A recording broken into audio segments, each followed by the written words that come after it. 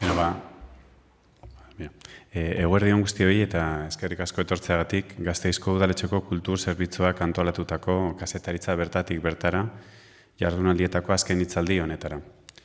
Gaurkoan, periodismo dibujado izenburua duen hitzaldia entzuteko aukera izango dugu Josemi Benitezen eskutik.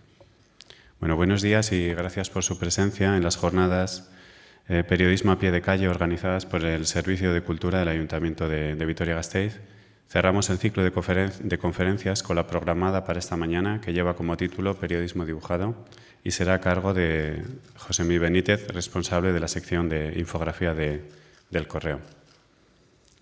Bueno, eh, José Mí Benítez, el correo egunkariko infografia taleko arduraduna da, 2008tik, Euskal Herriko Unibertsitatean kazetaritza eta publizitatea lizentzi, eh, publizitatean barkatu lizentziatu zen, mila bederatzeiron dalaro mazortzian, eta urte horretan bertan elkorreon sartu zen. Elkorreo.com webgunearen diseinatzaia da, eta infografiako irakaslea ere izan da Nafarroako Unibertsitatean eta elkorreo eh, UPVHU multimedia masterrean. Decía que Josemi es responsable de la sección de infografía de, del Correo desde el 2008. Es licenciado por la Universidad del, del, País Vasco en Periodismo y Publicidad en 1998, mismo año en el que ingresó en, el Correo. También ha sido diseñador del correo.com y profesor de, infografía en la Universidad de Navarra y en el máster multimedia del Correo UPV. Ha ganado más de 80 premios en las ediciones de la Society for New Design, NH y Malofei, incluyendo los máximos galardones en infografía a nivel mundial.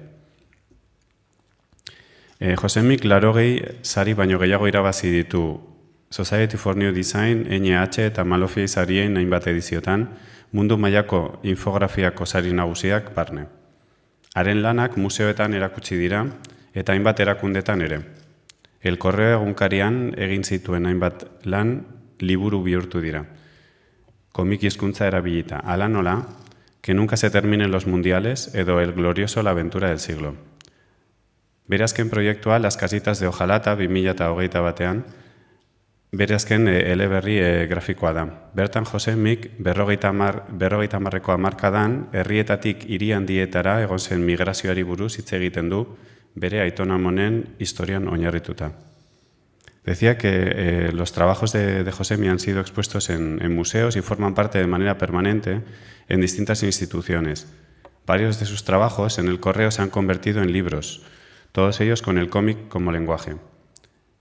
Algunos ejemplos de, estos trabajos son Que nunca se terminen los mundiales o El glorioso La aventura del siglo. Su último proyecto, Las casitas de Ojalata, publicado en el año 2021, es, la última novela gráfica en la que José narra la migración en los años 50 de los pueblos a las grandes ciudades, basada en la historia de sus abuelos. Beno, ba, gogoratu, e, amaitzerakoan galdera txanda bat e, zabalduko dela, e, beti bezala eskatu txanda, altzatu esko eta itxaron e, mikrofonoa jasotzera, mesedez e, isil, isiarazi mugikorrak e, eskerrik asko. Decía que, bueno, después de la conferencia, como, como, ya viene siendo tradicional, se abrirá un turno de preguntas que intentaremos hacer de la manera más, más ordenada, pidiendo eh, la vez, esperando y a recibir el micrófono y no haciendo preguntas sin micrófono. Eh, simplemente recordarles que, por favor, apaguen o silencien los móviles. Eh, cedo la palabra a José. Hola, buenos días. Eh, muchas gracias por venir. Soy José Benítez, eh, trabajo en la sección de infografía del periódico El Correo y bueno, yo me voy a salir un poco de la temática de esta semana. os voy a enseñar algún gráfico que hemos hecho de la guerra de Ucrania, del cambio climático, pero bueno, voy a ir un poco por un tema más, práctica, más práctico de explicaros un poco cómo trabajábamos en el periódico, en la sección de infografía, y bueno, porque es un, es un trabajo que igual la gente no sabe muy bien cómo se hace, ¿no? Ve, ve las infografías, pero no sabe muy bien. Muchos redactores en los periódicos tampoco saben muy bien cómo lo hacemos, pero... eh, Eh, soy infografista. Yo me acuerdo cuando empezaba hace más de 20 años en el periódico y decía que era infografista, luego la gente te preguntaba, ¿infografista? ¿Y eso qué es eso de infografía? Ah, tú eres... No, yo decía, yo soy el que dibujo en, en, el periódico. Entonces mucha gente me decía, ¿tú haces el donceles? Y no, no, no, yo no hago el donceles. Cuando salen las cifras del paro, soy el que hace la gráfica, o cuando hay un mapa, pues hay que localizar cortes de tráfico en Zabalgana, pues soy yo el que dibuja sobre un mapa dónde están los cortes, o cuando hay un accidente, pues soy yo, somos nosotros los que recreamos cómo fue el, suceso, ¿no? No soy el que hago el donceles. Eh, pero bueno, lo mejor para explicar eh, eh, qué es lo que hacemos es, nosotros entre nuestro circulillo tenemos un lema que es saudontel, o sea, enséñamelo, no me lo cuentes. ¿no?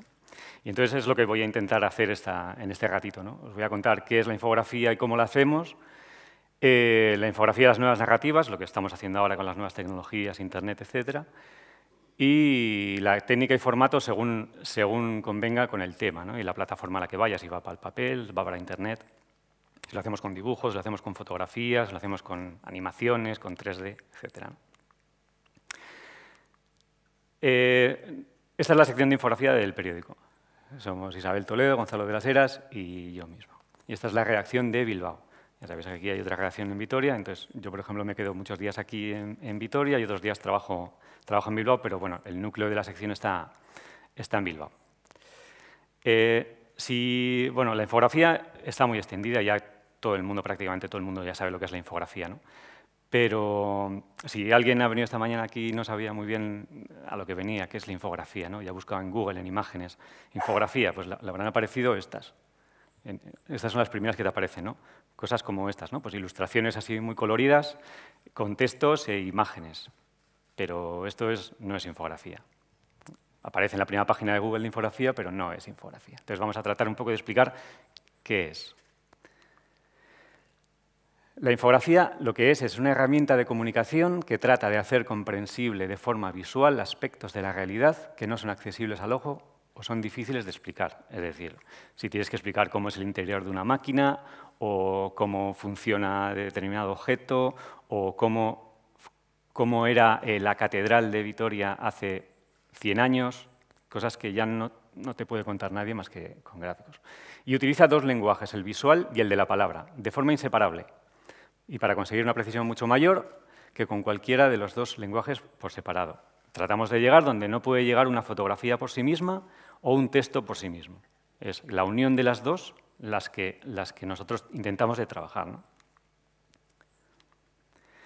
Eh, bueno, el periódico El Correo, ya sabéis que es un periódico regional y entonces eh, a nosotros lo que, nos, lo que nos mueve es la información local, ¿no? llegar a nuestros lectores más cercanos. Entonces, os voy a poner el primer caso así práctico de la cabeza de Baco. Ya, todos ya sabéis lo que ha pasado con la cabeza de Baco, que desapareció en las excavaciones de Arcaya que se iniciaron en 1976, no se sabía dónde estaban, y el periódico El Correo, el periódico lo que tiene que hacer es buscar noticias, contarlas, si puede ser en exclusiva mejor, y de eso se trata. ¿no? Entonces, durante, durante cuatro o cinco meses se estuvieron dando noticias a diario de la cabeza de Baco, de cómo era Arcaya, de cómo se vivía en el siglo, en I en, aquella, en aquella zona, y con fotografías de la cabeza, de los restos arqueológicos que quedan allí, etcétera, etcétera, de los implicados en, esta historia. Y un día, un lunes, me llama Sergio Carracedo, que es el, responsable, el que, más sabe de arqueología del periódico, y me propone un tema. Eh, los temas estos que aparecen el, igual el domingo, el, el fin de semana en, el periódico, así dobles páginas, suelen ser trabajos que nos llevan una semana. Se plantean igual un lunes y tenemos toda la semana para hacerlo. Bueno, lunes, martes, hasta el, viernes. Entonces, bueno, me, me, mandó unas fotografías de que le habían mandado los arqueólogos, los técnicos de las excavaciones, y me mandó planos que le habían pasado y más material. ¿no? Entonces nos pusimos en contacto con ellos y nos explicaron un poquito qué es lo que había allí de nuevo. ¿no? Entonces creían que, había una, que hubo una plaza porticada en los baños, que era el centro neurálgico de, de Arcaya, y querían un poco que reflejáramos eso ¿no? en una infografía. Entonces, bueno, eso es lo que puede aportar nuestra sección. Más allá de fotografías o más allá de textos, nosotros podemos enseñar cómo era, porque lo que hay es esto. Esto era un plano de cómo son los restos ahora. Esto nos lo pasaron los técnicos. Entonces, lo que tratamos de mostrar es digerir un poquito esto para enseñárselo al lector. Entonces comenzamos a dibujar. Hay muchísimas formas de, dibujar y de representar este tipo de, edificios.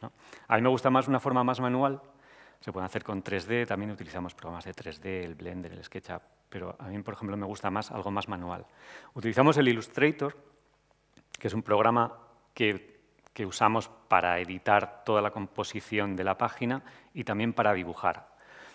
Lo que hacemos es si ves esa rayita ahí es clic, clic, clic, clic, clic. O sea, no, no tiene más. ¿no? Hay mucha gente que dice, no, es el edificio, claro, le metes unos parámetros y te aparecen ya las cosas. No, esa es, es muy manual. Entonces, sobre una rejilla base, una, una, plantilla de, de axonométrico, vamos levantando, conforme a cómo está el plano y cómo están las fotografías, vamos levantando, según nos dicen los técnicos, cómo fue aquello. ¿no? Poco a poco, con Illustrator, y vamos formando todo. Eso lo hacemos el lunes, más o menos.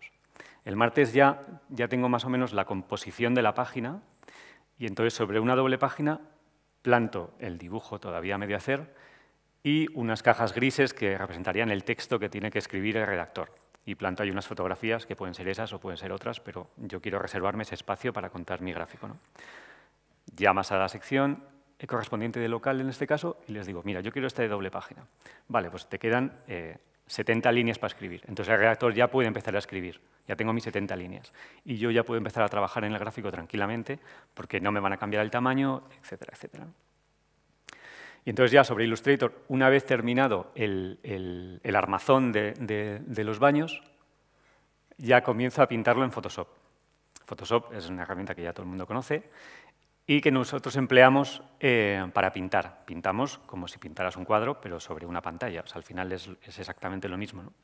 Utilizamos millones de capas, porque claro, en una capa tienes lo que te has traído de Illustrator, las líneas base, y sobre esa vas poniendo capa sobre capa, pues la capa de los muros, la capa de los tejados, la capa de las luces de los tejados, la capa de la sombra de los tejados. Todo eso son las capas que veis en la derecha. Y pues, un gráfico pues, tiene 100 capas y vas pintando, epa, vas pintando poco a poco, con todo el detalle que puedas y todo el tiempo del que dispongas, porque al final si estamos en un miércoles y tienes que entregar esto el viernes, pues tienes que ir bastante rápido. Empiezas a pintar y yo más o menos tienes el dibujo hecho de cómo era eso, con la plaza porticada que nos dijeron que había, del cual solo se sabía que había eh, el primer porche no se sabe que hubiera más, pero entonces por eso esa parte la haces como más difuminada porque intuyes que era una plaza porticada, pero no lo sabían. Y ya con todo el dibujo hecho, otra vez vuelves a Illustrator, después de Photoshop, y ahí compones ya todo el gráfico.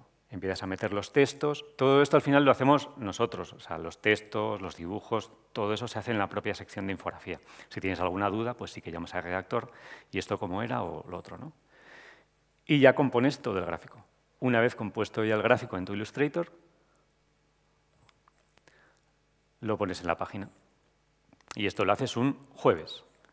Y el jueves ya el redactor ya cuadra su texto, tú cuadras tu dibujo, el fotógrafo, el, jefe de fotografía, piensa que las fotografías que he puesto pues, son mejorables, obviamente, y pone las que él cree que mejor. Y esto es un jueves, porque el viernes todavía queda adaptarlo a Internet. Y es coger este gráfico y pasarlo a Internet. Entonces, al final es un proceso muy rápido y tienes que ir muy rápido para hacer todo esto en, cinco días. ¿no? Y eso, y la infografía,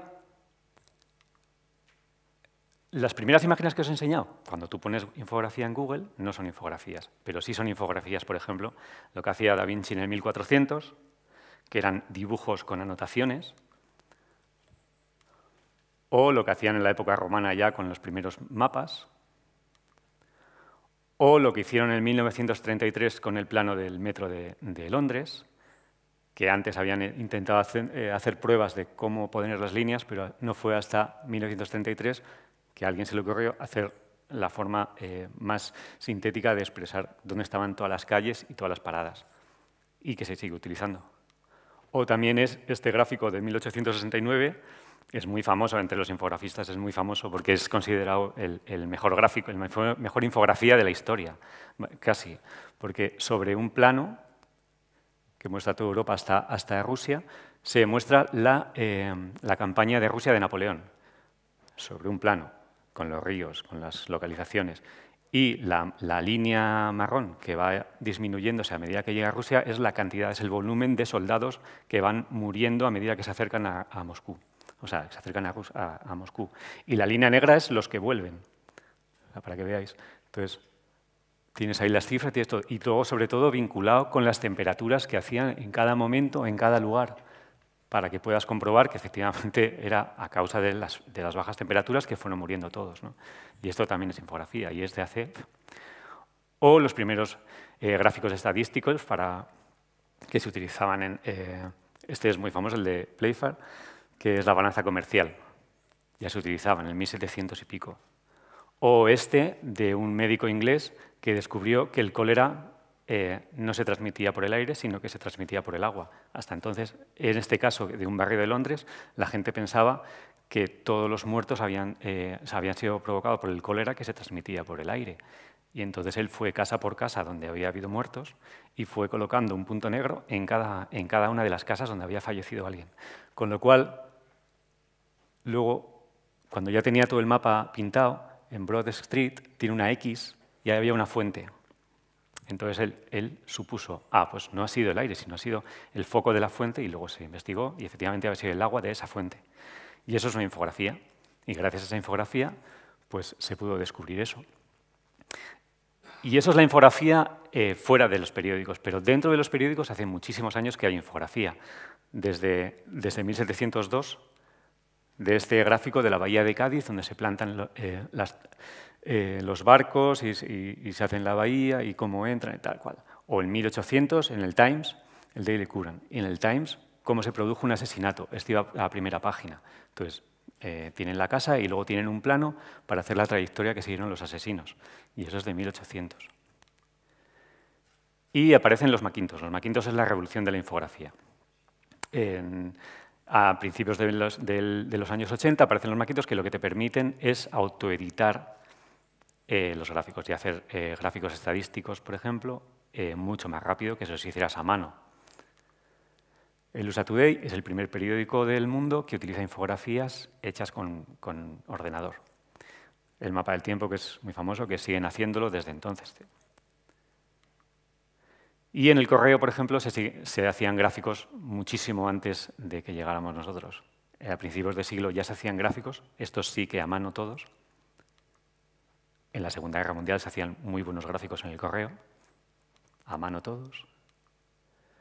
O en los años 80 también se hacían gráficos. Pero sobre todo es eso, a partir de que llegan los ordenadores y sobre todo la guerra del, Golfo, la primera, cuando se, provoca un, un, boom en la infografía mundial y sobre todo en la española. O sea, los periódicos españoles apuestan a tope por la infografía y se crean las primeras secciones de infografía de los periódicos de todos, de la vanguardia, del país, del mundo, del correo, todos. El correo eh, forma una sección con tres personas y empiezan a hacer gráficos. No hay fotografías, entonces no es como ahora. No había fotografías buenas ni había vídeos buenos. Entonces los periódicos tenían que mostrar lo que estaba sucediendo con infografías. Y se puso de moda. Y sobre todo en el correo em, tuvimos la... iba a decir suerte. Eh, los atentados de ETA eh, fueron muy importantes para que la sección de infografía del correo, del correo eh, evolucionara, porque todos los días, prácticamente todos los días, tenías que contar cómo había sido el, atentado. Y eso pues, dio una soltura muy grande a la, a la sección. Y todo esto pasa muchísimos años y llega a 2012. Y el New York Times, en Internet, las nuevas tecnologías, se, se, se inventa un formato que son los storytellings para Internet.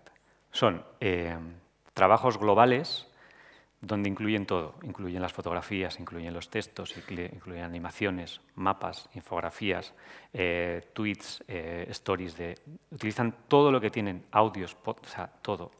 Y crean... este, por ejemplo, fue em, una luz que hubo en el estado de Washington, donde quedaban atrapados eh, un montón de montañeros, y entonces un, equipo del New York Times se desplazó allí y contó la historia de primera mano, pues contando todo. Y entonces ahora es lo que estamos intentando eh, copiar en todos los periódicos, en, las ediciones web. Y lo que os comento, ¿no? para nosotros lo, local es lo, es lo primero. Entonces, bueno, pues igual que, hice el de Arcaya, pues hice este de la catedral cuando, hicieron la, cuando plantearon la última remodelación y este ya me llevó más de una semana, este me llevó un par de ellas. Y el trabajo es el mismo, o sea, vas allí, hablas con los técnicos que, están al cargo de la restauración y te explican todas las, todas las obras que van a hacer, etc. Y empiezas a dibujarlo, de la misma manera que dibujé el otro. línea a línea, levantando todas las líneas. Luego, cuando tienes todo el armazón, lo pintas en Photoshop y luego ya compones la página.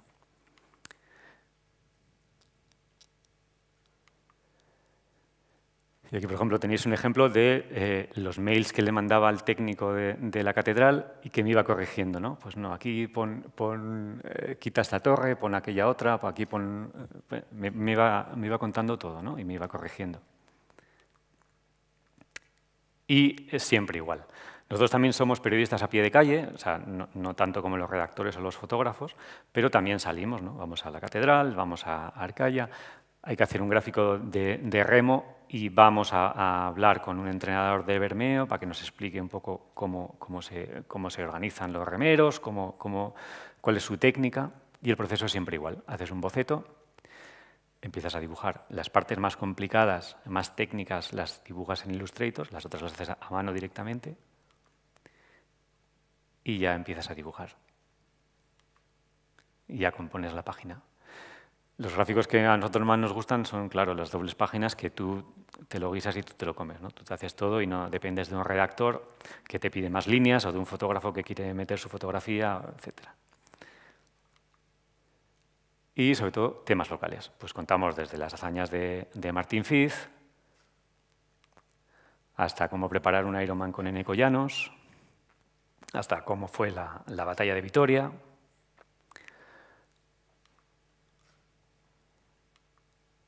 o cómo fueron los sucesos del 3 de marzo. Y siempre con la misma técnica que os he mostrado antes, ¿vale? O tienes que contar pues, la historia de los 100 años de la Alavés.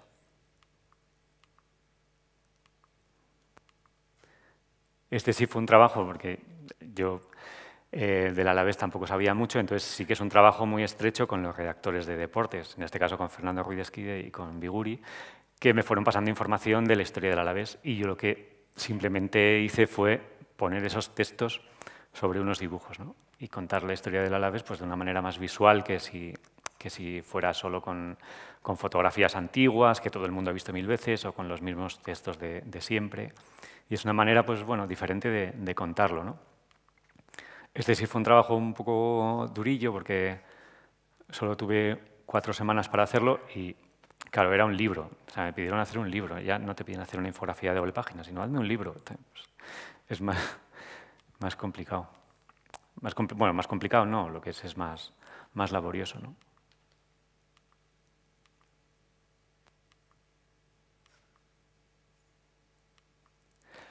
Vale. O muestras cómo es el anillo verde de Vitoria. En el 25 aniversario nos me plantearon hacer una, una, serie de infografías para explicar cómo eran los parques de, mm, que componen el Anillo Verde. Y lo mismo, pues fui al ayuntamiento, estuve con los técnicos encargados de, de toda la remodelación de, de, los parques, cómo habían cambiado, eh, me pasaron todas las, eh, todos los nombres de todos los animales que había parque a parque, de todas las... Eh, de todas las plantas, de todos los árboles que podíamos encontrar en cada uno de ellos y qué había sucedido de importante en cada parque. ¿no? Pues en Salburú habían quitado el canal y habían abierto, y te explicaban todo. Y luego tú eso lo tienes que trasladar. ¿no?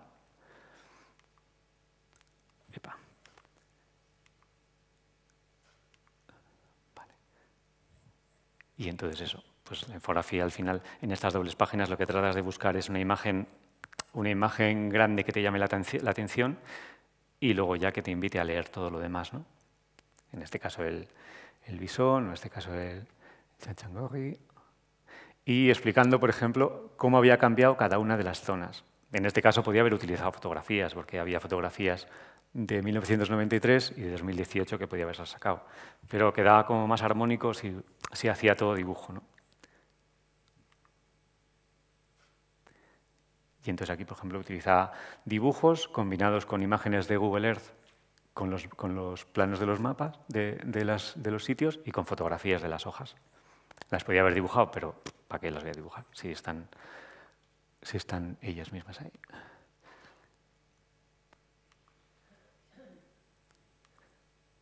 Vale, y para hacer estos de animales, esta la técnica es un poco diferente Aquí ya no levantas de la nada una línea a línea todo el, todo el edificio, sino que en esto me baso en fotografías. Pues si tengo que, dibujar este ave, pues me busco una fotografía y la copio y ya está. Entonces la, la copio y luego la pinto, ¿no?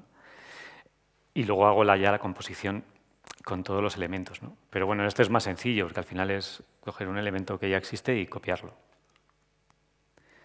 Y lo mismo, compones la página, la pintas, pones los textos y pones el, texto de la redactora, en este caso de Rosa Cancho. Y lo mismo, pues lo, mismo un día estás contando eso, los que os contaba antes, los cortes de, agua en, en, Salburúa, y al día siguiente pues estás contando cómo era un campo de refugiados en Siria. ¿no? Al final de este tipo de gráficos, por ejemplo, esto lo planteo yo, pues voy a la sección correspondiente, en este caso la de reportajes, y les digo que me apetecía hacer una infografía contando cómo era un campo de refugiados. Ah, sí, adelante. O sea, parte de que hagamos cosas mejor o peores que el periódico del correo nos da mucha manga ancha para hacer lo que queramos hasta ahora. ¿no? Entonces, si quieres hacer una doble página de esto, pues la puedes hacer tranquilamente. Igual en otros países, en otros periódicos tienes más pegas, ¿no? porque hay menos espacio, lo que sea. Entonces, adelante, sí, hazlo. Llamas a ACNUR, te pones en contacto con técnicos allí y te pasan información de, pues, cómo era, eh, de cómo son básicamente los campos de refugiados y así pues lo cuentas, ¿no? Tienes un, plano ahí arriba, entonces sabes cómo son las, casas, las casetas, haces un corte para explicar un poco cómo son por dentro, cómo, son, eh, cómo las trasladan, y ya metes unas fotografías de otros campos de refugiados que había entonces. ¿no?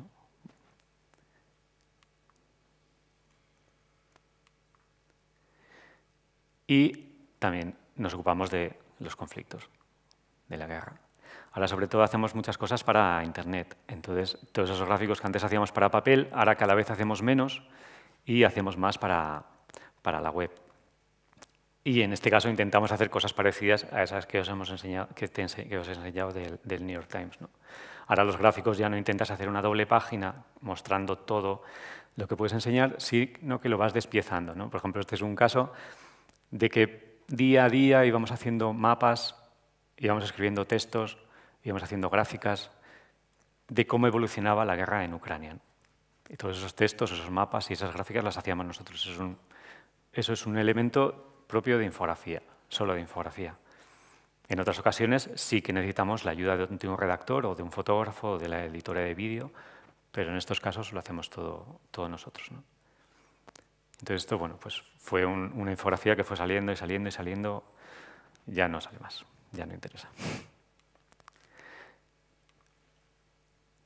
Y lo mismo, lo mismo hacíamos con...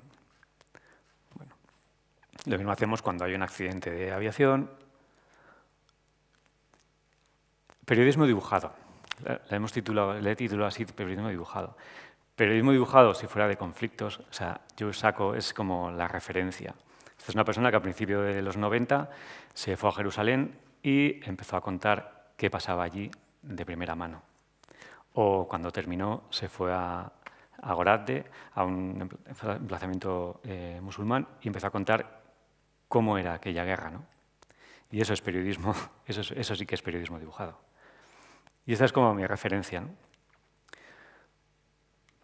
Entonces, con esa referencia y con otras muchas, eh, yo lo que trato de hacer también es aplicar el cómic, que es lo que a mí realmente me gusta, a la infografía. Pero no solo contar un cómic por ejemplo, el de la historia del Alavés, ¿no? que eso sí que es más dibujo, texto, dibujo, texto, pero no tiene ningún, ¿cómo decirlo? más decorativo.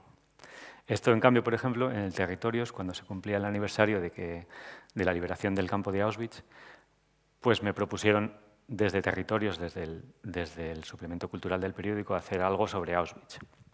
Pero te lo plantean así, oye, ¿por qué no haces algo chulo de Auschwitz? ¿Qué, cuentas ¿no? de Auschwitz? Que se ha contado todo, ¿no? que hay millones de fotografías espeluznantes, millones de, testimonios. ¿Qué puedes contar diferente a otro periódico que va a hacer lo mismo porque es el 75 aniversario? Todo el mundo va a hacer algo eh, grande. Entonces, intentas contarlo de otra manera. Entonces, bueno, pues se me ocurrió contar en formato cómic cómo eh, eh, una persona liberada contaba a un soldado ruso cómo había sido todo, ¿no? y eh, plagado de infografías, que están un poco disimuladas. Por ejemplo, en la contraportada metí una infografía de áreas de donde procedían todas las personas que habían fallecido allí. ¿no?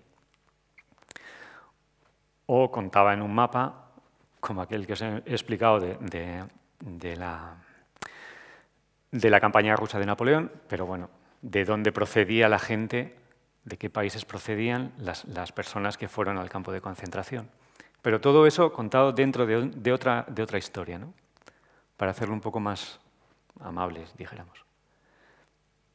Y todo jugando con los, recuerdos de uno de los soldados, de uno de los prisioneros.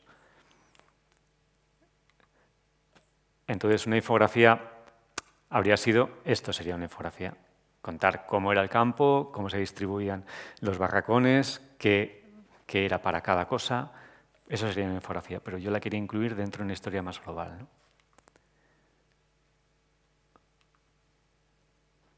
O cómo eran los, crematorios. Pues habría sido una infografía en sí misma, pero yo la quería contar dentro de la historia.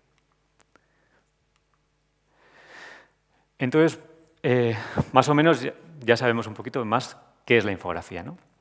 Hasta ahora éramos redactores, eh, hacemos estadísticas, hacemos mapas, hacemos diseño, hacemos fotografía, pero ahora con Internet todo eso ha cambiado y se ha caído. O sea, todo eso ha dado un vuelco gigante. Porque ahora tenemos que dominar editores web, animación, programas de gestión de base de datos, mapas eh, de Internet, editores estadísticos online. O sea, un montón de cosas que no os podéis ni, imaginar. Y, al final intentas aprender todo lo rápido que puedes, pero es imposible que, sepas tanto como el que más sabe de vídeo o tanto como el programador, pero bueno, para hacer cosas, pues lo que hacemos habitualmente sí que nos vale, pero hay veces que, eso, que tenemos que necesitar de, de otro profesional. Y volvemos a lo local, y otra vez un trabajo de una semana. Cuando hubo las inundaciones el año pasado en Vitoria, me plantean, oye, vamos a hacer un gráfico para explicar cómo funciona la presa de Zadorra. Entonces, pues el lunes vamos allí. Vamos a redactor Íñigo Crespo, el fotógrafo, yo y con los técnicos de Iberdrola que nos explican cómo es la presa por dentro, algo que la gente no puede ver habitualmente. Nos pasan un montón de planos eh, a priori incomprensibles que nosotros tenemos que intentar de eh, demostrarle al lector de la manera más sencilla.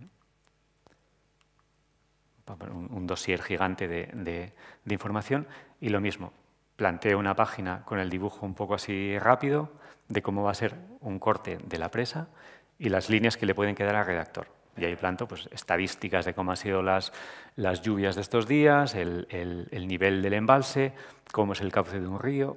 Y un poco planteas los elementos que tú crees que pueden ser interesantes para el lector. ¿no? Y esto es un... Si el lunes hemos ido, esto sería un martes. Y el martes eso, pues empiezas a hacer ya el esquema de cómo va a ser eh, tu dibujo. El miércoles ya, ya he acabado un poco de pintar todo, miércoles, jueves, y con todos los textos que nos han ido diciendo los técnicos. ¿no? Y ya para el jueves tienes terminado el gráfico, más o menos. Jueves por la tarde a última hora. Ya tienes acabado el gráfico, se lo has enviado al redactor, te ha dado el visto bueno porque se lo han enviado a los técnicos a su vez y han dicho que vale, que está bien, y ya lo tienes plantado. ¿Y qué pasa? Que el jueves por la noche dices, todavía me queda hacer el de Internet. Entonces el viernes a primera hora vas corriendo a la redacción para intentar contar eso de, una manera más visual. Entonces dices, pues, voy a hacer un vídeo con Google Earth para la entrada y luego voy a ir contando todo lo que he contado en la doble página, pero despiezado.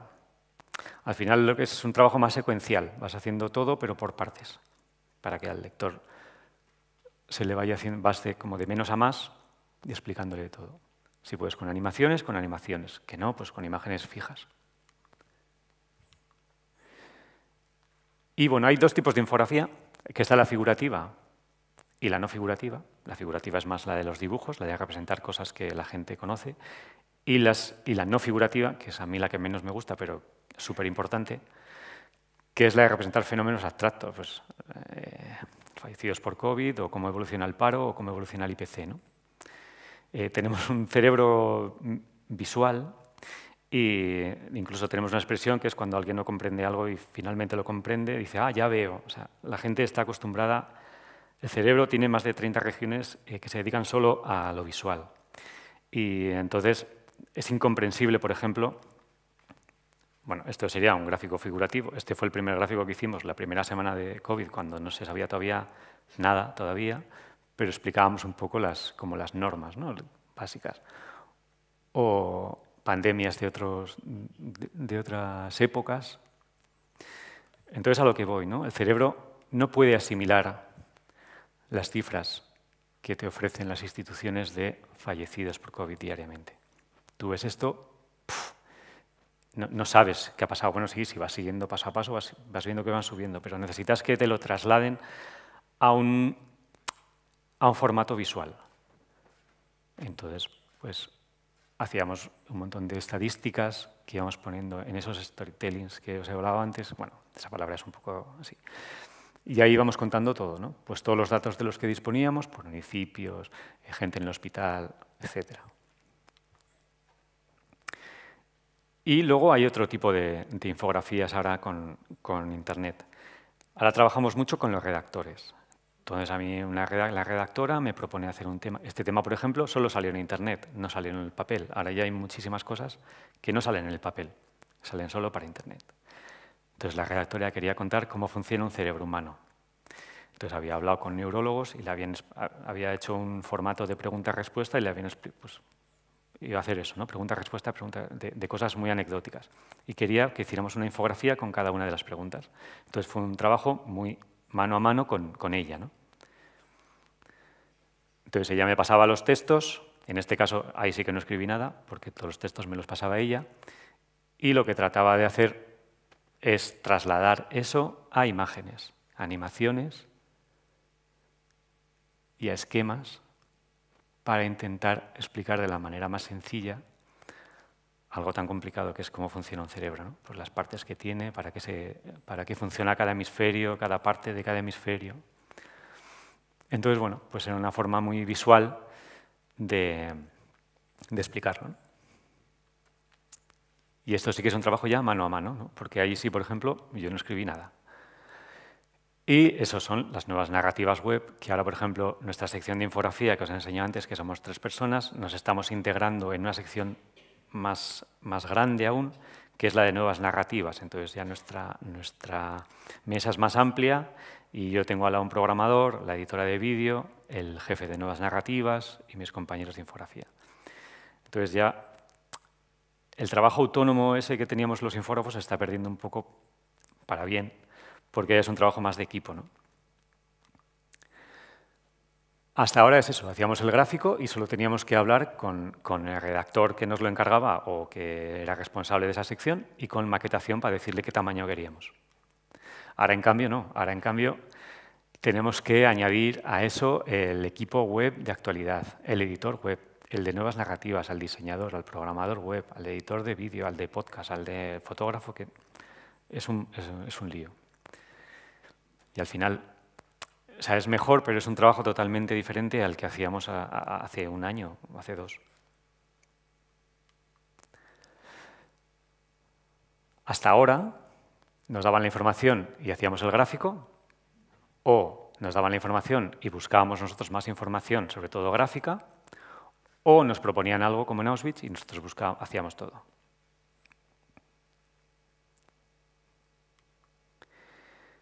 Por ejemplo, este es el típico gráfico que me cuesta cinco minutos.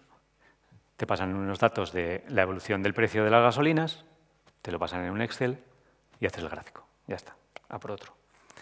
Este es el típico, eso, que te pasan toda la información y tú simplemente lo trasladas a una infografía. O este, por ejemplo, que nos proponen hacer, eh, que me proponen hacer un gráfico de cómo funciona el almacén de semillas eh, la almacén de semillas y, bueno, pues porque van a trasladar cinco semillas vascas al, sitio este, ¿no? Entonces, bueno, pues tú piensas, bueno, ¿qué puedo contar yo? Pues puedo contar cómo es el almacén, que está dentro de una montaña helada, de cómo tiene un túnel gigante y luego tiene tres almacenes, donde en esos almacenes están todas las cajas donde se guardan todos los sobres con todas las semillas. Entonces, y luego muestras las cinco semillas vascas que, van a ir a Noruega, ¿no? al, almacén este. Y ya está. Y haces la doble página. Pero en este caso lo que querían sobre todo era para la web hacer algo eh, animado y tal. Y entonces, pues, en un día también, o día y pico, pues plantas esa infografía en la web. Y todo esto lo, hace, lo, hago, lo hago yo. O sea, este es un trabajo sin programación y sin nada, simplemente utilizando el editor el editor, eh, web que tenemos. Simplemente vas poniendo los dibujos o los textos o las fotografías en el lugar que corresponde y ya está. ¿no? Y lo cuentas lo mismo que el del envase, de manera secuencial, poco a poco, de menos a más, y te vas adentrando en, cómo es. Y esto al final... Eh, Bueno, eh, este es otro caso exactamente igual. El lunes me viene el redactor y dice que los, eh, neandertales eh, rasgaban la, comida. ¿Cómo podemos contar eso? Bueno, pues tenemos un molar y de ahí se ha sabido todo, ¿no? Intenta contar todo, ¿no? Pues cómo comían, cómo hacían, y aquí los textos también lo pasaba él, pero tú buscas la información de cómo eran los cráneos de un neandertal o cómo son los de, de un humano ahora, cómo son la dentadura de antes y cómo es la de ahora. Bueno, y luego una pequeña animación de cómo lo hacían.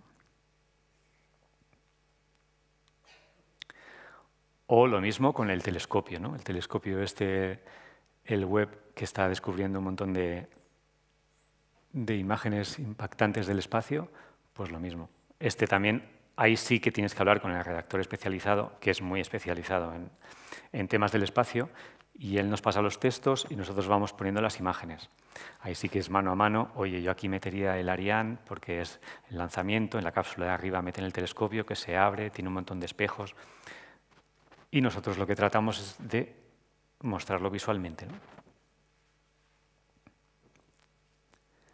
Ahora, este tipo de gráficos también son más o menos sencillos porque la NASA, la ESA y un montón de instituciones de aeronáutica pasan vídeos o tienen fotografías de alta resolución que tú puedes utilizar. Antes no, antes tienes que hacer todos los esquemas basado en, otros esquemas. Ahora disponemos de mucha información visual que se puede utilizar libre de derechos. Y luego está la propuesta de infografía, que estos son obviamente los, mejor, los que más me gustan, claro, porque tú decides qué gráfico quieres hacer y decides cómo lo quieres hacer. Y no tienes que, bueno, sí tienes que dar explicaciones, pero bueno, casi al final, gusta o no gusta, pero no, no hay nadie que se meta por medio. Entonces, por ejemplo, yo me leo este libro eh, que me ha regalado y, digo, joder, pues quiero, contar una cosa sobre árboles, ¿no? de qué, qué importantes son los árboles en nuestro mundo. Entonces, este libro de Araujo, que es una, es, una, es, una belleza de libro, pues trae muchísima información que yo quiero trasladar a una infografía. Más allá de un texto, una infografía. Entonces, entras en un montón de instituciones que dan todos los datos de qué tipo de árboles hay por regiones, etcétera, etcétera, todo tipo de información que intentas añadir. Entras en el ministerio, vas eh, provincia a provincia, viendo qué tipo de árboles hay en cada una de ellas, sacas hojas de cálculo para calcular cuántos hay en Soria, cuántos alcornoques. es una labor de documentación. Este sí que estuve dos semanas, dos semanas para hacerlo. Te haces tus tablas de Excel con toda la información que tienes, coges PDFs del ministerio y ya empiezas a hacer un boceto de cómo quieres plantar eso. ¿no? esa información que tienes, que, es, muchísima información, ¿cómo la quieres contar? Y yo quiero contar una doble página, también lo quiero contar en Internet, pero a mí todavía, pues, que no me oigan, pero me, me gusta todavía más el papel. Y propongo hacer una infografía así de grande, contando un poco pues, la importancia de los árboles, cuáles son sus ciclos, que, pues, los anillos, eh, cuáles son las especies más abundantes, cómo se distribuyen en, España, un poco de primaria de cómo es la fotosíntesis, bueno, hacer un poquito un compendio de todo lo que se sabe, de, lo que, de todo lo que puedes enseñarle a alguien sobre un árbol.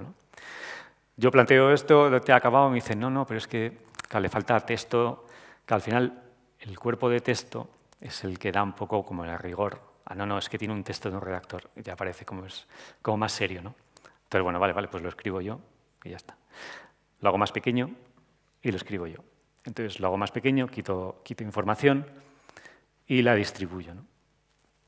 Y ya lo cuento así, pues eh, quito hojas, solo me quedo con algunas de ellas y hago este, esta composición.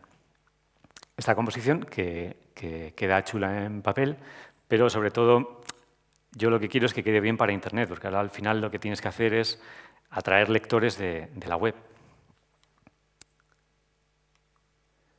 Y monto este especial.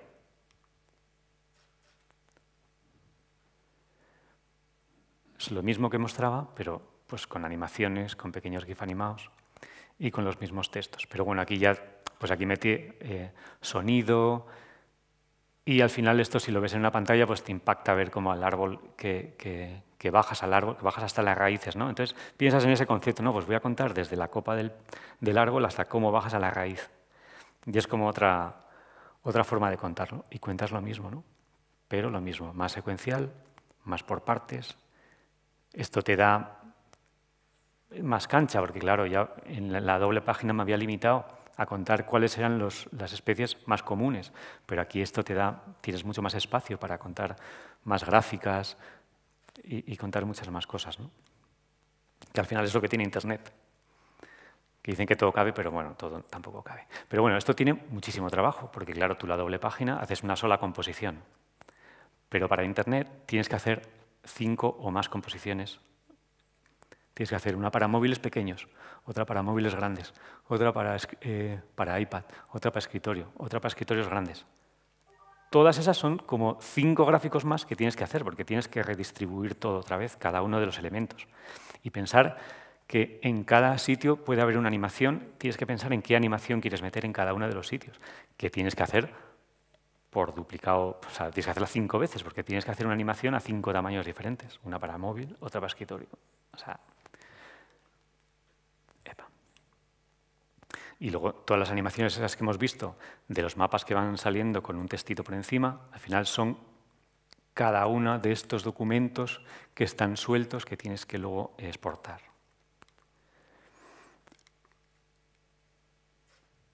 Ya habéis visto que sobre todo me gusta eh, hacerlas eh, el dibujo. Em, sobre todo en acontecimientos así de aniversarios y tal, es cuando se recurre a la sección de infografía ¿no? para hacer algo especial. Por ejemplo, en las Olimpiadas, pues eh, me pidieron, vamos a hacer algo de Olimpiadas. Bueno, ¿qué haces de Olimpiadas? Bueno, pues voy a contar a lo que se ha contado mil veces, que es cómo es cada una de las disciplinas de los Juegos Olímpicos. Pero bueno, lo cuentas con infografías, ¿no? Pues la esgrima, cómo son eh, las espadas, cómo son los movimientos, cómo son los trajes, cómo son las mallas, cuál es el calendario.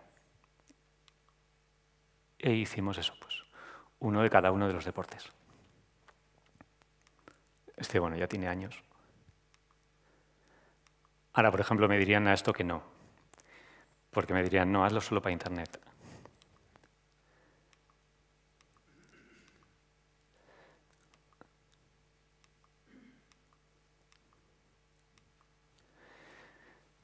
Y lo mismo, eso de todo tipo de temas. Pues el viaje de Shackleton, pues cuentas cómo fue el, viaje en la barca para pedir ayuda, para, rescatar al Endurance, como la historia del Endurance ha contado tantas veces y hay tantas fotografías, porque había un fotógrafo allí, pues intentas contar algo que no se puede contar con fotografías. Y cuentas cómo era esa barca, cómo dormían en esa barca, qué lastre le ponían a esa barca, qué em, elementos de medición tenían entonces, cuál era el recorrido que siguieron.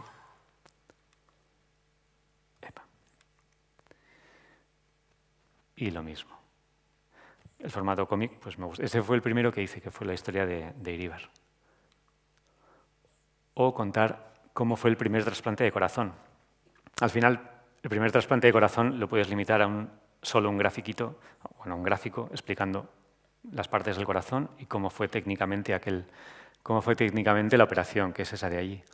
Pero a mí me apetecía contar un poco más la historia que había detrás. En vez de que hubiera un texto de un redactor que, redactora que explicara cómo había sido todo, pues me, apetecía contarlo en formato cómic, incluyendo esas infografías que de otra manera también iba a meter, cómo funciona el corazón o cómo había sido técnicamente la intervención. O en aniversarios, lo mismo. Vamos a hacer algo de la llegada de los vascos al Everest, ¿no? de, la primera vez que, que llegamos al Everest. Haz algo, pues al final, pues, ¿qué haces? Bueno, pues, pues voy a contar el Everest, voy a contar la, vía que siguieron, los componentes de, aquella expedición. Había hay fotografías, evidentemente, de todos los componentes, pero bueno, si las dibujaba, pues quedaba como más, insertado, quedaba todo como más unido, ¿no? Y contaba un poco las peripecias desde que salieron de Katmandú hasta que, hasta que llegaron.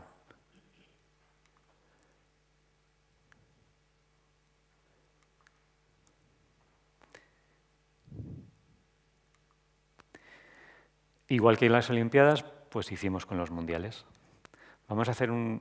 Me propusieron, bueno, propuse yo, eh, hacer una página diaria contando en, los veintipico días que iba a durar el mundial, contar cada día un mundial, pues desde que comenzaron los años 30 hasta los actuales, ¿no? Ah, muy bien. Bueno, pues eso. Casi día a día, bueno, o dos días de antelación, fui contando en formato cómic esto no es infografía, es formato cómic, cómo habían sido cada uno de los mundiales. Cada una de estas páginas, solo una, iba saliendo cada día del torneo. Luego su versión web, claro, también.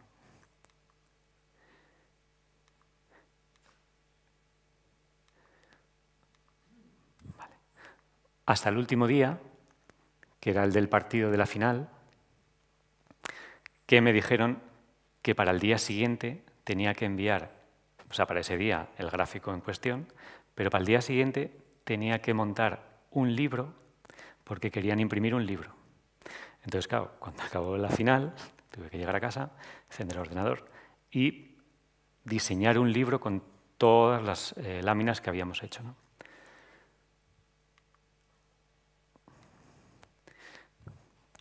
Y eso, el mismo esquema. Por ejemplo, esto es en el Santo Sepulcro, se iba, se iba a remodelar el edículo, creo que se llama. Bueno, entonces eh, propuse contar cómo era, cómo se supone que había sido la tumba de, Jesús, ¿no? Y lo mismo, levantando, dibujando, pintando y contando un poco todo lo que dicen que pudo, que pudo pasar, ¿no? Entonces, la noticia en cuestión es el edículo, es eso, donde está el Santo Sepulcro, que es lo que iban a remodelar. Pero yo pues, intenté contar un poco toda la historia.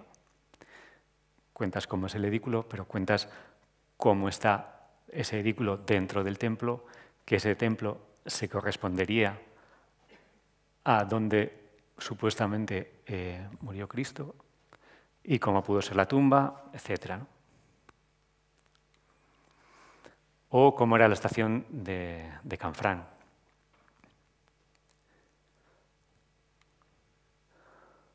O cómo pudieron eh, crucificar a Jesús. Pues esto al final, eh, esto me planteé yo en casa, puse unos, unas cintas de vídeo y me puse así, me saqué una fotografía y luego la copié. Porque yo soy muy bueno copiando, pero bueno, pues así de primeras no me sale un Cristo. Entonces ese soy yo. O hacemos gráficos más del día a día, ¿no? Pues gana Nadal su enésimo torneo y hay que hacer el gráfico de todos los torneos que lleva y, todos los, y, la lucha que tiene con los otros dos, ¿no? Eh, podía haber metido fotografías, pero bueno, pues metí dibujos. Pero bueno, podían haber sido fotografías tranquilamente. O pues más gráficos de, animales. Este es Bolinchu, que es un, es un bosque que hay ahí en Bilbao, que no conoce nadie o casi nadie. Y aparte de infografías y de periodismo dibujado, también hago ilustraciones. Por ejemplo, me plantean hacer un tema sobre la ansiedad y monto un especial en Internet sobre la ansiedad. Sobre casos concretos de esta enfermedad, pues hago ilustraciones y las monto en, en el especial web.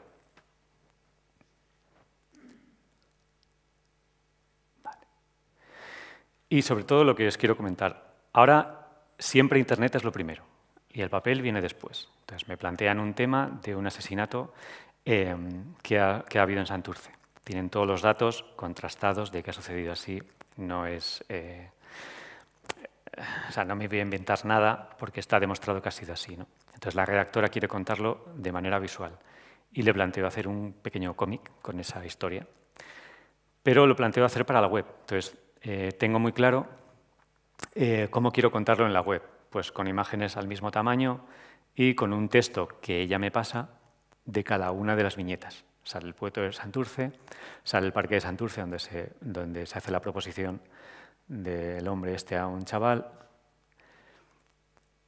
y cuento un poco qué pasa, ¿no? que se van a un parking y eh, le matan.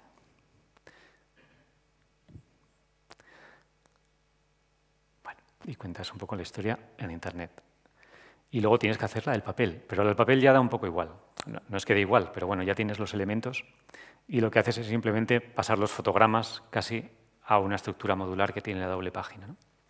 Entonces pierdes un poco de la composición que antes teníamos, que puedes jugar un poco con las formas y tal, o darle más prioridad a una imagen que a otra, pero bueno, pues ganas en que ha quedado mejor el de la web. ¿no?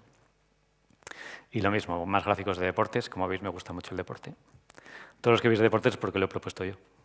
Así no me proponen hacer otra cosa. o cuentas cómo, es, cómo arranca una empresa ¿no? después de la pandemia, pues lo, cuentas en formato cómic, pues cómo arranca la Michelin. Pues nada, pues lo cuentas en formato cómic, o Sidenor. O... Y luego juegas mucho con el formato de la página. Aquí el diseño, cuando hay una infografía así grande, tú le marcas al diseñador cómo quieres que sea la página. ¿no? Pues si vas a hacer un gráfico de de los vuelos estos que se tiran ahí de peñascos, pues dices, bueno, que, quiero jugar con la página para, para dibujarlo. O cuando hay ataques de cuando hay ataques de lobos, pues bueno, pues haces unos dibujos que bueno, tampoco son cada es infografía, es más decoración que otra cosa, pero bueno, al final rompes un poco el esquema de fotografía-texto, fotografía-texto que siempre hay, ¿no? Simplemente para romper un poco, para que el lector diga, ah, mira, una cosa nueva. O cuentas cómo son los cauces de los ríos y qué problemas hay cuando se, cuando se acumula eh, todas las ramas en tal, o cómo son las áreas inundables de, Euskadi, o cómo se sube el capitán, o cuál es la postura correcta en, en, una bicicleta para una contrarreloj. Entonces, eso hablamos con un técnico en biomecánica que nos explica cómo es y nosotros lo trasladamos a un dibujo. O cuentas cómo es un tornado, o cómo puede ser el, cuerpo de un ciclista, o cómo pudo estar Ortega Lara en ese espacio cerrado durante tanto tiempo, o cosas más sencillas como ha sido un accidente en el metro que se ha caído una señora y se ha metido debajo del andén y se ha salvado. Cosas más del día a día. O cuando hay un récord, el récord de maratón, pues cuentas un poco la evolución o cómo, y cómo es el cuerpo de, estos superhombres o supermujeres. Y, por ejemplo, eh, lo que nos da Internet. ¿no? Tú tienes un gráfico, eh, tienes que hacer un gráfico, este también es propuesto por mí, estas cosas de deportes. Eh, hablas con un técnico que te explica cuál es la posición correcta para correr. Vale, tú haces la doble página e intentas hacerlo lo más comprensible posible. Entonces, marcas las líneas de pisada, cuáles son las, fases de la zancada. Voy bien de tiempo. Vale. ¿Cuáles son las fases de la zancada? ¿Cuál la posición correcta? ¿Cuál es la incorrecta? ¿Cómo colocar el pie bien? ¿Cómo colocar el, colocar el pie mal? Y bueno, pues está bien. Es un gráfico que está bien. Pero en Internet, este lo hice luego en Internet. Hice lo mismo, pero bueno, parecido. ¿Por qué? Porque bueno, esto es simplemente un fuegos artificiales para que la gente pinche. Ves a alguien que se mueve y ya pinchas. y bueno, pues cuentas un poco lo mismo que has contado, pero de manera secuencial. ¿Cuál es la forma de pisar correctamente? ¿Qué músculos intervienen en cada una de las pisadas? ¿Cuáles son las partes de una zapatilla? Cuál es la parte mejor para pisar, pero puedes animar y puedes decir cuál es la pisada pronadora, supinadora, y lo estás, lo estás viendo, no, es, no te lo estás imaginando con una imagen estática, ¿no? lo estás viendo eh, sobre, sobre un vídeo. Zapatillas para correr montaña, para correr... Bueno, al final contamos un poquito de todo. Utilizamos dibujos y utilizamos fotografías. Si tenemos que explicar eh, qué se siente al hacer la apnea, pues lo puedo dibujar y ya, habría quedado bien.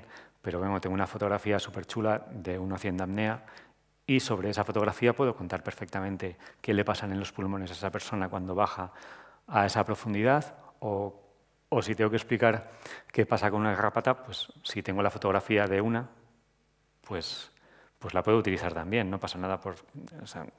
puedo utilizar fotos o dibujos, da igual. O si tengo que explicar qué pasa cuando, cuando nos damos un beso, puedo hacer un dibujo de alguien besándose o puedo utilizar una fotografía icónica para mostrarlo. Y sin mancharla mucho y sin destrozarla demasiado, pues cuento qué le pasa a nuestro cerebro o qué le pasa a nuestra tiroides cuando, cuando nos besamos. Y utilizo fotografías. Aquí vamos a salir de la pandemia y se me ocurrió, pues oye, pues ahora que salimos de la pandemia vamos todos al bosque a coger eh, hojas y hacemos un herbario.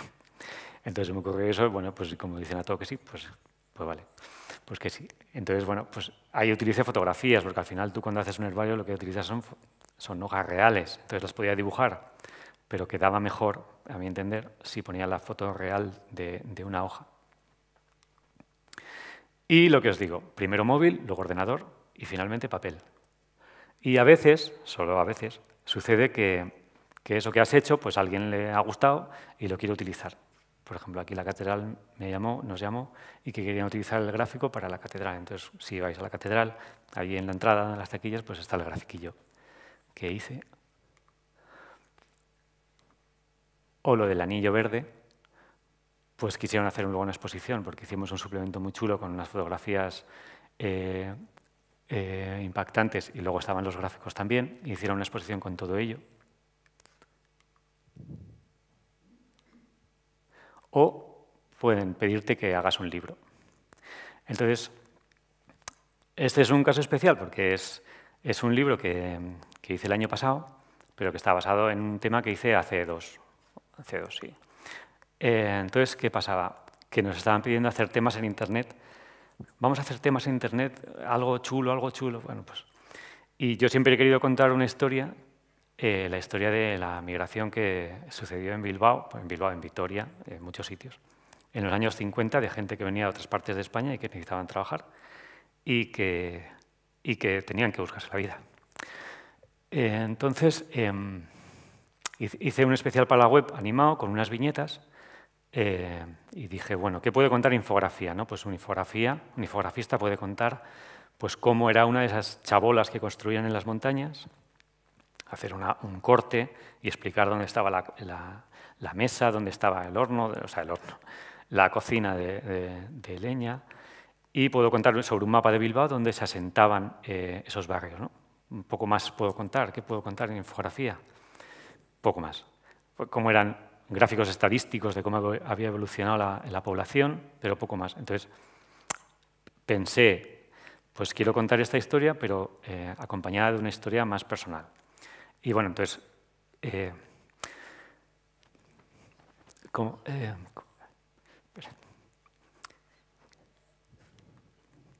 bueno, mi, mi, madre y mis abuelos habían estado en una de esas chabolas, ¿no? Espera.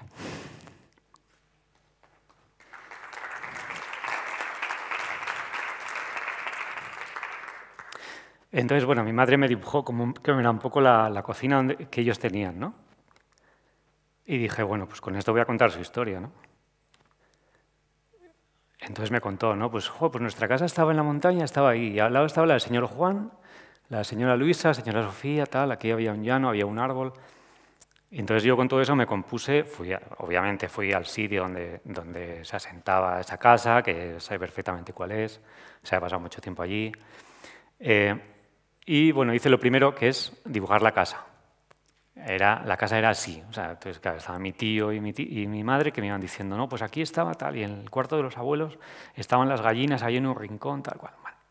y la conté. Entonces, el trabajo de infografía se habría acabado aquí y ya está, pero quería contar más. Entonces, yo me había bajado al pueblo del que salieron ellos, que es eh, Hornos de Segura, entonces me había bajado y allí tiempo, estuve, hace años estuve como 20 días, 15, 20 días grabando un, bueno, un pseudo documental con la gente que quedaba, que había conocido a mis abuelos, y, estuve en el ayuntamiento pillando las partidas de nacimiento de todo el mundo, sacando fotografías antiguas. Y luego, bueno, pues claro, me tuve que documentar de cómo eran eh, esos barrios en, Bilbao, ¿no? Que hay bastantes fotografías de cómo eran. Y se sabe dónde estaban y se sabe cuánta gente vivía en cada una de ellas. Y claro, fueron más de 7.000 infraviviendas que se construyeron en más de 30 barrios por las montañas que rodean Bilbao. Entonces, bueno, pues empecé a dibujar las partes más personales, por ejemplo, cómo decidieron mis abuelos que se venían a Bilbao, porque metieron en un sombrero, esto es lo que cuentan, metieron un sombrero tres papeles, uno con Valencia, otro con Bilbao y otro con no sé qué. Y mi madre pues sacó un papelito y salió a Bilbao, y se vinieron a Bilbao. Entonces es lo primero que, pinté, que dibujé. Este es mi hijo, Eric. Bueno, y comencé a, explicar, a contar todo. ¿no? Entonces hicimos el, especial web, que les gustó, y entonces ya me plantearon hacerlo para el papel, después de haberlo hecho para la web. Hicimos un suplemento de 20 páginas en el correo, que también pues, gustó y tal, y entonces ya me propusieron hacer un cómic. Entonces ya hice un libro después del, papel y después del, de, Internet. Y este es el libro que pues, ha salido, salió en diciembre del año pasado y que cuenta un poco la historia que os he contado, ¿no?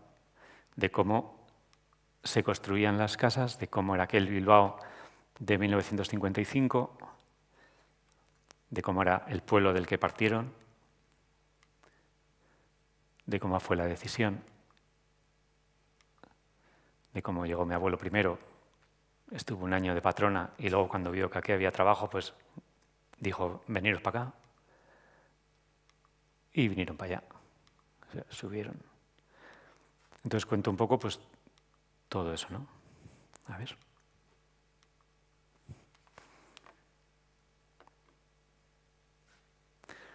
Y puedo hacer un mapa, puedo hacer un mapa esquemático de dónde estaban los barrios, ¿no? Pero bueno, como me han dejado tiempo para hacerlo, pues decido dibujar cómo era el Bilbao de los años 50 y hacer algo, algo más figurativo y, explicar qué más había, aparte de los asentamientos que, que, había, que había por, la, por, la, por, las montañas, ¿no? pues como eran las minas, como era Bando Ibarra, que hoy está el Guggenheim, que había un montón de chabolas, donde ahora está el Guggenheim había un montón de chabolas. Eh, bueno, este es un tema que yo cuando lo propuse en el periódico, eh, había mucha gente que no sabía que había pasado esto. Gente de mi edad, ninguna sabía que había pasado esto. Gente ya más mayor, sí, pero gente más mayor que venía de otras ciudades, por ejemplo de Vitoria, no sabían todo esto. Y a mí me da que esto no se ha, se, ha, se ha, ocultado o se ha querido ocultar. Yo en Bilbao no hay ninguna placa ni ningún reconocimiento a todos estos barrios, no hay nada. O sea, es como si, como si no hubiera pasado, ¿no? Y entonces, bueno, cuento la historia en plan como que yo les estoy preguntando a mi tío y a mí y a mi madre que me cuenten la historia, ¿no? Entonces me cuenta pues cómo jugaban, cómo eran los barrios, cómo, cómo llegaron, cómo llegaron ellos finalmente cuando mi abuelo dijo que vale, que sí, que ok, que subiros para acá, cómo llegaron allí y sobre todo cómo construían las casas. ¿no? Esto también es una infografía, lo podía haber hecho más esquemático, más eh, lineal, pero bueno, me apetecía contarlo así. De hecho hice hasta una maqueta en casa, que mi mujer casi me echa, y una maqueta en casa con un montón de, de parafernalia, de, tierra, y, o sea, llené el estudio de... Bueno, nos, nos voy a enseñar. Y conté un poco todo, ¿no? Pues cómo eran, eh, cómo, cómo, estaba mi abuela allí. O sea, ese es exactamente el sitio donde estaba la chabola, cómo se veía Bilbao, cómo iban a por agua a la fuente, cómo bajaba hasta el centro de Bilbao, tenía que hacer como 10 kilómetros para lavar eh, unas sábanas y luego subir con el caldero en la cabeza, cómo era la vida de mi madre en el colegio, ¿no? que iba a un colegio del centro de Bilbao porque tenían la oportunidad de, de, ir y tenía que bajar desde las montañas hasta el centro de Bilbao, lloviendo o nevando, o, bueno, nevando menos en Bilbao, pero y como pues eh, las burlas de los otros niños, ¿no? Cómo se divertían, cómo iban al cine también, iban, hacían de todo. Te cuento, cuento un poco eso, cómo, es, cómo era el Bilbao de entonces y cómo era la, la vida de estas personas hasta que se supone que Franco dijo que eso había que, que derribarlo porque le daba mucha pena y, y, construyeron el barrio Charcoaga, que es un barrio donde metieron a la mayoría de la gente. Un barrio, bueno, pues de hormigón y sin mucha humanidad. Y, y bueno, pues mis abuelos, por ejemplo, tuvieron la, su bueno, la suerte, tuvieron suerte diferente que le contrataron a mi abuelo en, en, una portería y se fue a trabajar allí. Bueno, os he diseccionado el, cómic, así que no lo vais a comprar ya. Así que, Y, entonces eso, ¿no? Al final ellos les llamaban las casitas, y por eso le llaman las casitas, porque todo el mundo dice, no, pero eso son chabolas. Ellos le llaman las casitas porque las querían dignificar, ¿no? Entonces, eh, ellos siempre decían eso, ¿no? que la diferencia entre una casita y una, y una chabola está en los, no está en los materiales, sino, sino, sino en la esperanza que habitan ellos. ¿no?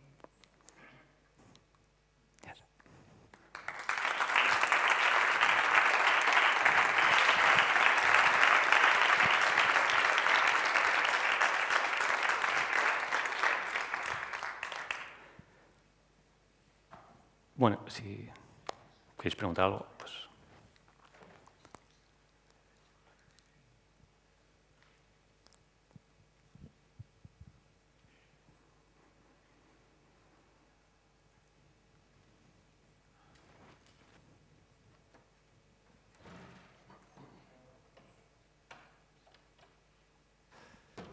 Buenos días, José Hola. Nada, una pregunta, una curiosidad. Eh, ¿Tenéis eh, feedback, o sea, respuesta del público, vosotros que, que tenéis eh, eh, todo el trabajo que nos has mostrado, aparte de las charlas que puedas hacer.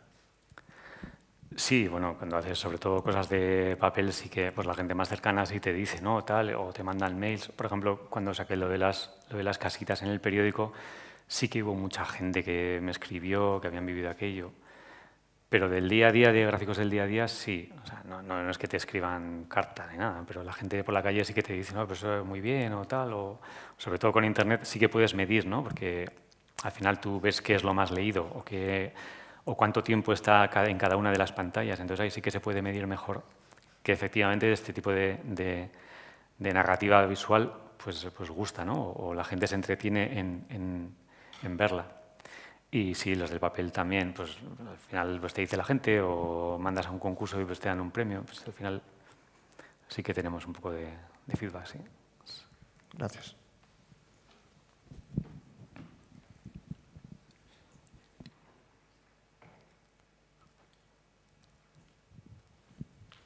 Opa, eh, felicitarte. No sé, llevo muchos años viniendo aquí y por eso me quedo sin palabras, me ha encantado.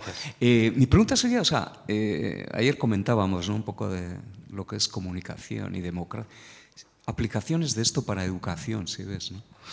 O sea, quiero decir, porque es, es fabuloso. A mí, vamos, me acabas de descubrir un área en el que cuando me jubile quiero meterme, ¿no? Sí, sí, sí, eh, quiero decir, el potencial es brutal, ¿no? Porque muchas veces es que haces transposición, vamos, de saber científico a lo que es. Entonces, eh, ¿habéis desarrollado experiencias de este tipo con el mundo educativo? Porque me parece increíble. Pues no, no, es, no concretamente. Con, sí que hacemos cosas que luego, eh, por ejemplo, yo, me han dicho casos de, gráficos que, hemos hecho que los han llevado a los colegios, los han plastificado y los han hecho no, eh, Me refiero más a, formación de profesorado, quiero decir, porque mm. tienes asignaturas de nuevas tecnologías y tal. sí, sí, Infografías yo también he utilizado, pero te quiero decir, lo, lo que hemos mostrado el proceso y tal es... Sí.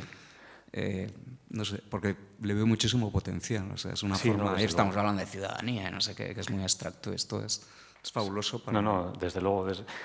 Sí que tiene potencial y sobre todo con las nuevas tecnologías. O sea, los periódicos ahora, ya sabes, están en crisis porque además de la crisis que a todos nos ha tocado, pues tenemos la crisis de las nuevas tecnologías, de, de que el papel es muy caro y de todo, ¿no? Entonces, lo que tienes que mostrar cosas diferentes en Internet para que la gente pague, porque si no la gente no va a pagar. Y entonces la infografía y estas nuevas narrativas de los storytellings y tal, se ha visto que, sí que atraen a muchos lectores. Y la gente paga por, por, eso. O sea, porque al final los textos, pues ya tienes los textos. Pero sí que hay cosas tipo la infografía, tipo las nuevas narrativas, que sí que atraen a más gente. Pero, pero eso no, lo que, lo que dices de, de, de otros campos no, no hemos explorado, yo no, al menos. No sé si te he contestado.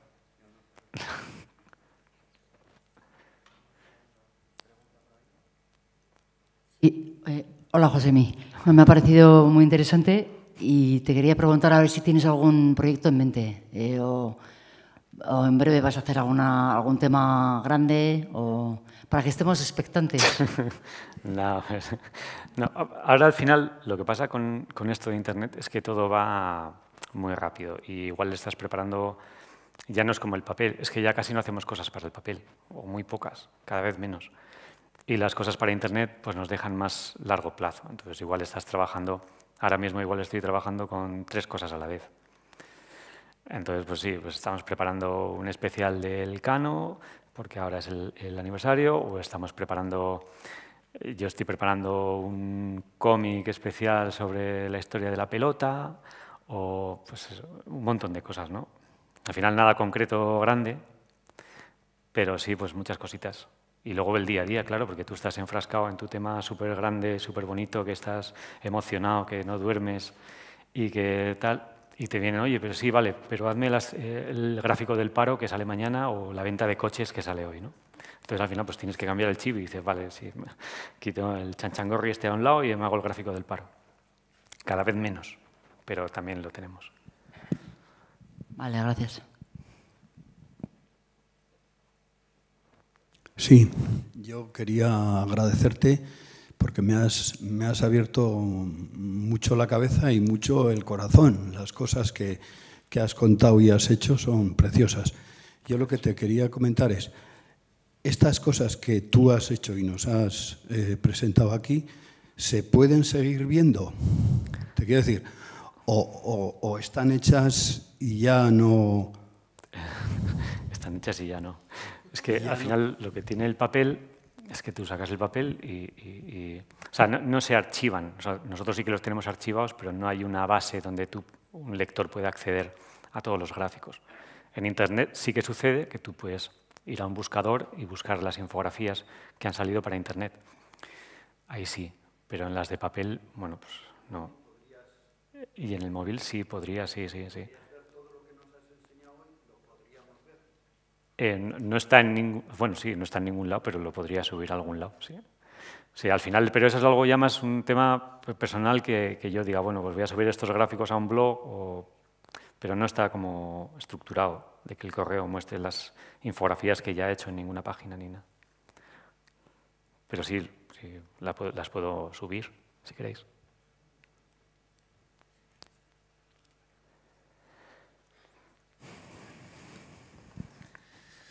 Jesús. Eh, eh, bueno, justo cuando, cuando yo llegaba estás hablando de que utilizas Illustrator, eh, Photoshop. No sé si utilizas algunas otras herramientas como InDesign quizás para lo de los libros que decías o, alguna otra. y, me ha sorprendido cuando hablabas también de bueno, pues los diferentes soportes para móvil y tal, que eres tú el que, el que adapta todas las las imágenes y las ilustraciones y e infografías. No trabajas nunca con el diseñador web y tienes que, adaptarlo tú y conocer código web, CSS, HTML o, es con diseñador web.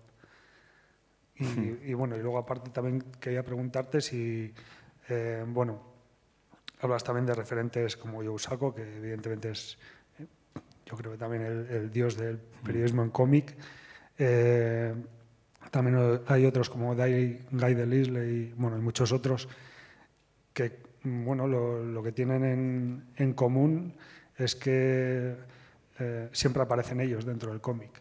y, en, el caso este de las casitas, quizás sea un poco más parecido, entre comillas, a Maus de Art Spiegelman, en el sentido de que eres tú, en este caso, el que pregunta hmm. a su madre, como hmm. él a su padre y todo eso. Hmm. Eh, no sé si también hay más referentes que tengas por ahí y, y, qué te parecen también los cómics que también están saliendo en los últimos tiempos, como por ejemplo La grieta de Spotorno o El fotógrafo de Guibert, en el que se mezclan fotografías con, con, con eh, ilustraciones que también puede ser un poco más ¿no? tu estilo, el estilo que haces tú. Es Sí, al final yo creo que el, acabado final de lo que hagas, yo creo que es lo de menos. ¿no? Si utilizas fotografías coloreadas con un filtro o si utilizas dibujos más eh, Apple, al final yo creo que da un poco igual. ¿no? Lo importante es qué historia cuentes, cómo la cuentes y da un poco igual, ¿no? Pues a mí me gusta mucho el spot ¿no? que hacen alguna cosa en el país, de alguna batalla, eh, pues están muy bien, están súper bien.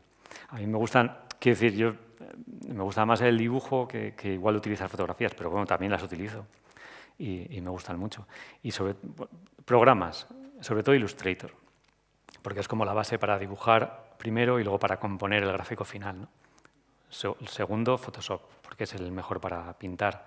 O sea, yo tengo el iPad y pinto en el Procreate, pero no me hallo todavía. O sea, yo como el Photoshop y la tableta gráfica, todavía no he encontrado algo que me satisfaga más. Luego utilizamos muchos programas. Pues yo qué sé, si tienes que hacer una pequeña composición de vídeo, pues utilizas el DaVinci o utilizas el After Effects o utilizas eh, otro. O si tienes que, hacer algo en 3D, pues en SketchUp, algo que tengas mucho tiempo y tal, pues el SketchUp o el Blender, pero menos. Porque al final tampoco tienes tiempo. O sea, para mí es mucho más rápido levantar las líneas en Illustrator y luego colorear que empezar a hacer 3D, que tampoco lo manejo tan bien. Pero alguien que lo maneje también, no sé si puede ser tan rápido como hacerlo a mano, no, lo sé. Y luego, por ejemplo, em, bueno, y, muchos programas más. Luego, por ejemplo, ahora para, para, bases de datos, para limpiar bases de datos, pasarlo al Excel, eh, claro, utilizamos muchas hojas de cálculo. En esa infografía eh, no figurativa, que a mí no me gusta mucho, pero que también tengo que hacerla, claro. Porque tengo que hacer esto, pero tengo que hacerlo otro también. O sea, os he enseñado más ejemplos de lo que a mí más me gusta, pero también tengo que hacer los gráficos estadísticos, estos que son un poco tal. Entonces, eh, hacerlo en Internet. Por ejemplo, el árbol que os he enseñado, ahí hice yo todo. Hice yo, se puede meter el diseñador web. Hasta ahora no había un diseñador web en el correo. Hace poco que ha entrado un diseñador web. Pero yo prefiero aprender cómo se hace y hacerlo yo. O sea, yo quiero recurrir al diseñador web cuando haya algo que yo no llego o que tal, pero al final siempre me busco un poco la vida para contarlo de la manera que yo sepa. Entonces, eh, eso que os he contado de las cinco imágenes, al final es un i2HTML, que no sé si conoces, es, como un, es un script que tiene Illustrator, que lo que te hace es que tú lo compones las imágenes y tienes por un lado la imagen y por un lado el texto. Entonces tú exportas cada una de esas pantallas y te exporta a código el HTML de los textos y te exporta imágenes las imágenes. Entonces tú en Method, que es el editor web que nosotros utilizamos, arrastramos el código, el código del HTML de, las cinco pantallas a su parte del editor y luego la parte de las imágenes. Y luego ya se funde todo en el editor y se muestra. Entonces, o las animaciones que, pasas una pantalla y te aparece el texto por arriba. Eso es, un componente que tiene nuestro editor, que es el, el, scroll story. Entonces tú pues piensas, no, pues voy a hacer esta imagen y en este componente meto el texto. Tienes que saber un poco de HTML, no mucho. Al final tienes que saber lo básico para saber dónde tienes que insertar cada uno de los códigos, pero más allá no. Entonces, yo qué sé, si ya necesitas otra cosa, por ejemplo, el otro día mi compañero Gonzalo, Gonzalo de las Heras pues hizo un gráfico espectacular de, de la llegada a la Luna.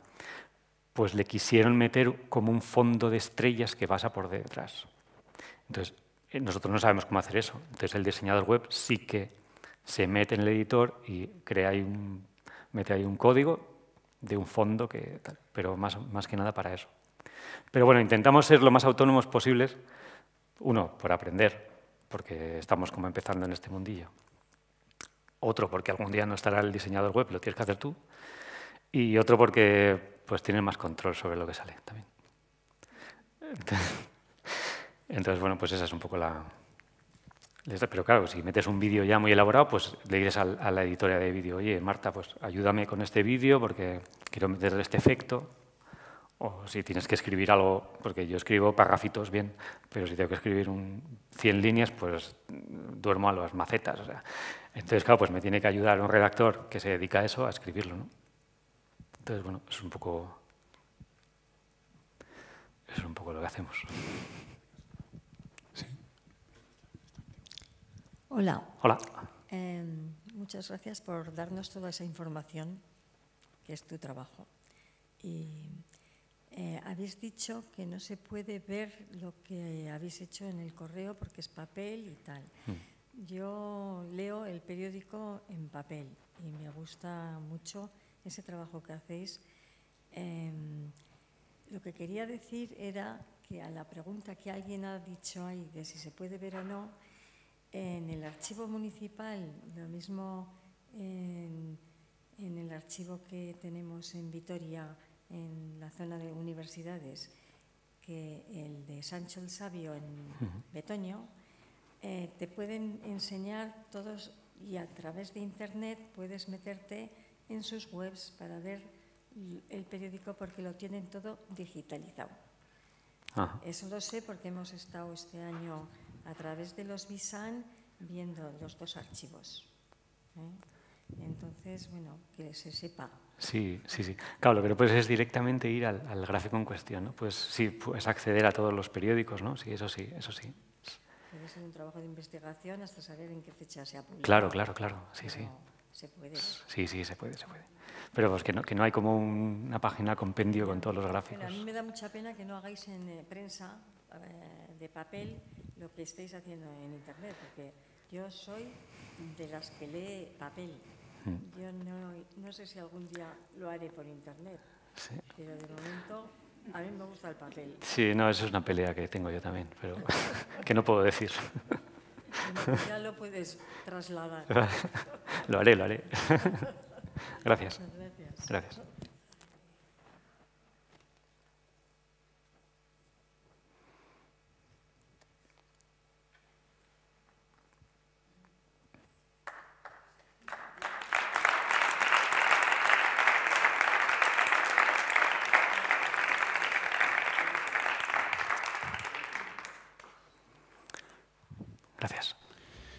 Beno, ba, e, eskerrik asko e, guztioi zuen parte hartzeagatik. E, gogoratu, e, arratsaldeko zazpietan, Manu Braboren Black Butterflies erakusketaren bizita gidatua e, Euskaraz egongo dela, Europar Biltzar e, jauregiaren ondoan dagoen e, erakusketan. Eta ondoren gaueko bederatzi terdietan aiotze plazan, Steven Spielbergen Los Archivos del Pentagono filma ikusteko aukera izango dela. Eta ekitaldi honekin e, aurtengo zamaiera emango diogula kazetaritza bertatik bertara jardunaldien sortzigarren e, edizioari. Beraz, e, arratsaldeon eta urrengo urte arte, espero du.